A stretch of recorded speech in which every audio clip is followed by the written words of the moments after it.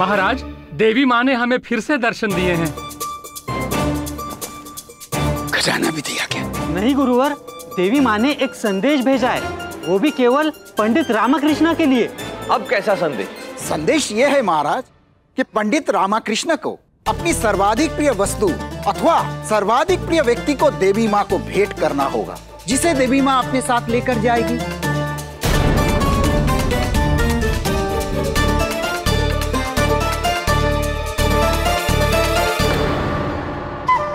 अरे ये किस प्रकार का संदेश है? देवी माँ भला ऐसा क्यों कहेंगी? किंतु पंडित रामाकृष्णा देवी माँ ने ही ऐसा कहा है। एक से नहीं अनेकों से कहा है। हाँ गुरुवर किंतु देवी माँ भला ऐसा क्यों चाहेंगी? वो अपने भक्त को कष्ट क्यों देना चाहेंगी? आपका कथन सर्वथा उचित है पंडित रामाकृष्ण। देवी माँ अपने भक्तों से ऐसी मांग कर ही नहीं सकती। किंतु महाराज, हम इस बात को भी नहीं झुठला सकते कि देवी माँ ने इन सबको दर्शन दिए और खजाना भी प्राप्त हुआ है। और इस बात के ये सब साक्षी महाराज, देवी माँ की लीला है, देवी माँ की लीला देवी माँ ही जाने। किंतु हमारे विचार में, यदि देवी माँ ने कहा है कि उनकी इच्छा की पूर्ति हो और उनकी इच्छा की पूर्ति नहीं की गई तो महाराज विजयनगर पर देवी माँ का प्रकोप आ सकता है। गुरुवर? महाराज! महाराज! सब लोग सत्य कह रहे हैं महाराज। सब सत्य कह रहे हैं। देवी माँ ने हमें भी दर्शन दिए हैं महाराज।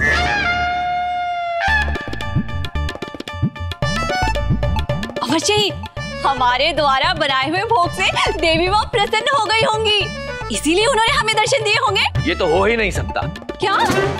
मेरा मतलब य- य- य- आप क्या कह रही हैं? आपके कहने का मतलब क्या है? हम सत्य कह रहे हैं महाराज। देवी माँ ने कहा है कि यदि पंडित रामाकृष्ण अपनी सर्वाधिक प्रिय वस्तु या व्यक्ति उन्हें भेंट कर दे जिसे वो अपने साथ लेकर जाएँगी।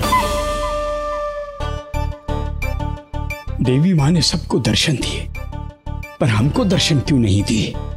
तो बताइए पंडित रामाकृष्णा जी कि आपके सर्वाधिक प्रिय व्यक्ति कौन है? बताइए बताइए, हम सबको बताइए। कौन है आपके सर्वाधिक प्रिय व्यक्ति?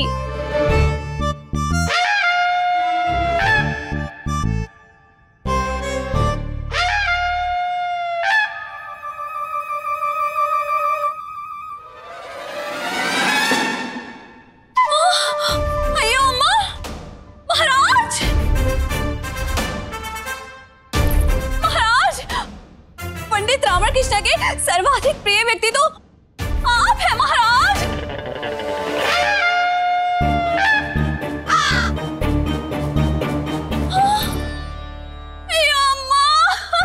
हे तो ये महाराज को देवी माँ को भेंट कर देंगी? कहीं वो महाराज को देवी माँ को भेंट ना कर दे। उपहास उपहास कर रही है महाराज।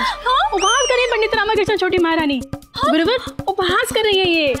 इनका तो स्वभाव है उपहास करने का। महाराज बिल्कुल हमारे मायके वालों की भांति। ऐसे ही उपहास कर रही है। जी जी जी जी महारानी। क्यों- क्यों- क्योंकि इन बातों में विश्वास करने योग्य कोई तथ्य ही नहीं है। तथ्य है पंडित रामाकृष्ण क्योंकि केवल इन सबको ही नहीं। देवी माँ ने महारानी तिरुमलंबा को भी तो दर्शन दिए हैं। अब तो देवी माँ की इच्छा पूर्ण करनी ही होगी। हाँ। देवी माँ ने सबको दर्शन दे दिए। यहाँ तक कि छोटी महारानी को भी दर्शन दे दिए किंतु हमें हमें नहीं दिए। महाराज आप सुन रहे हैं ना हम क्या कह रहे हैं? हाँ हम हम यही सोच रहे थे महारानी। महाराज आपको तो ज्ञात है ना कि हम प्रत्येक वर्ष देवी माँ के पूर्ण श्रद्धा के साथ नौ दिन का उपवास रखते हैं। हाँ। फिर भी फिर भी देवी माँ ने हमें दर्शन नहीं दिए उन्हें दर्शन दे दिए। क्यों महाराज क्यों? क्योंकि नौ दिन की भक्ति से देवी माँ प्रसन्न नहीं होने वाली।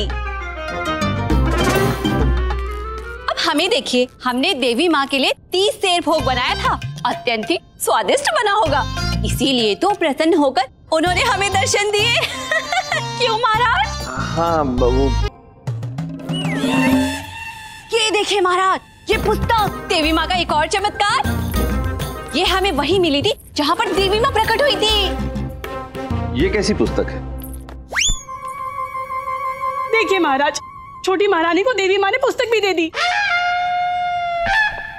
महाराज ये उन व्यंजनों की पुस्तक है जो स्वर्ग लोक में देवी देवता ग्रहण करते हैं। अब तो हम प्रतिदिन इस पुस्तक में से पढ़कर आपके लिए स्वादिष्ट व्यंजन बनाएँगे। महारानी वो वो सब बाद में। हम तो ये सोच रहे थे कि देवी माँ का यूँ सबको दर्शन देने का ये सिलसिला यूँ निरंतर चलता रहेगा या नहीं समाप्त हो जाएगा? क्योंकि यदि देवी माँ ने फिर किसी को दर्शन दे दिए तो ना जाने इस बार क्या इच्छा व्यक्त करेंगी। हे देवी माँ, हमें भी दर्शन दे दीजिए।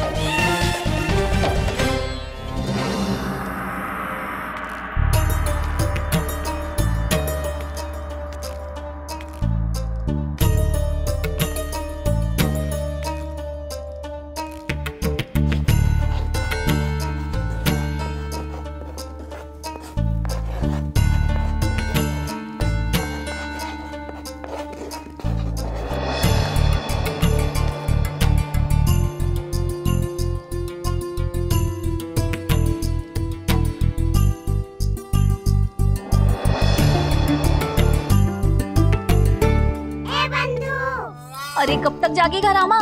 तेरे चक्कर में मैं भी नहीं सो पा रहा हूँ। बंधु मैं बिंदु से बिंदु मिलाकर चित्र बनाने का प्रयत्न कर रहा हूँ। इतनी रात्रि में तुझे चित्रकारी सूझी है? हाँ बंधु। देख सर्वप्रथम धनी मनी को देवी माँ ने दर्शन दिए तत्पश्चात इन बाकी लोगों को और सबसे मेरे विषय में ही कहा। नहीं नहीं नहीं। ये इतना सरल नहीं है जितना दिखाई दे रहा है। चक्कर कुछ और है, बंधु।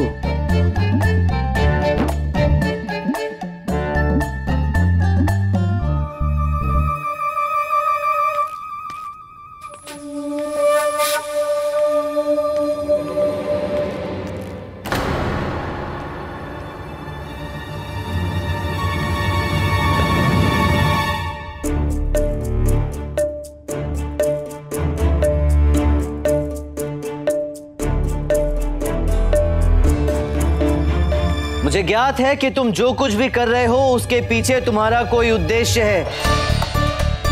किंतु स्मरण रहे मैं तुम्हारी चाल सफल नहीं होने दूँगा।